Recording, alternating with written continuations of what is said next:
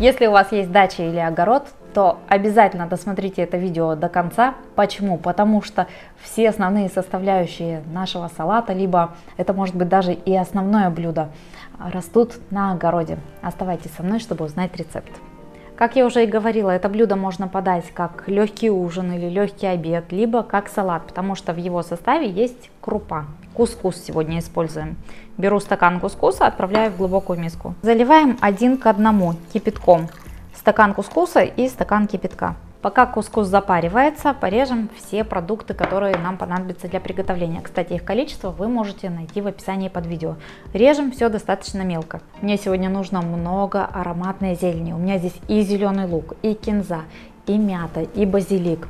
А, можете использовать зелень, ту, которая вам нравится по вашему вкусу. Если не любите кинзу, можете взять петрушку. Режем. У мяты и у базилика я буду использовать листочки. Вот стебли мне не понадобятся, потому что они все-таки жестковатые.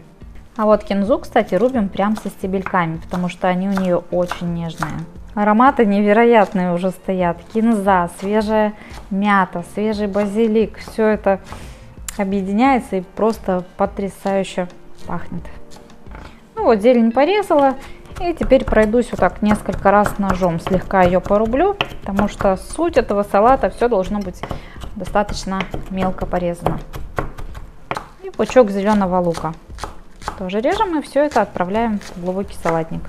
Свежие огурчики я их очищу от кожуры, чтобы салат был понежнее. Очищаю и нарезаю не крупно. Помидоры. Мякоть из них я буду удалять, чтобы в салате не было лишней жидкости.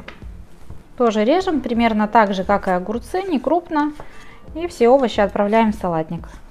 А пока я нарезаю овощи, вы можете подписаться на мой канал, поставить лайк этому видео. Так я пойму, что эта тема для вас интересна. И оставить какой-нибудь комментарий. Мне будет очень приятно.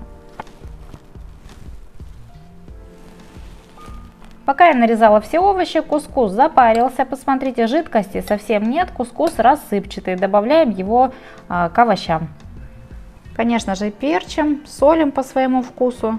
Чуть-чуть я вот черный молотый перец добавляю. И соль по вкусу. Остается салат только заправить. Я буду добавлять сок лимона и гранатовый соус кисло-сладкий. Он у меня не острый. Если нет гранатового соуса, можете добавить бальзамический соус-крем, например, по своему вкусу. Масло у меня оливковое. Можно а, просто взять подсолнечное масло или любое другое растительное. Аккуратно все это перемешиваю и будем подавать. Изумительный аромат. Подаем и пробуем салат.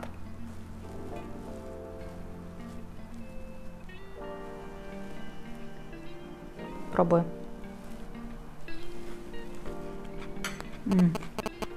Очень сочный получается, очень свежий, за счет мяты, да и вообще вся зелень чувствуется в этом салате, такой контраст вкусов, очень вкусный.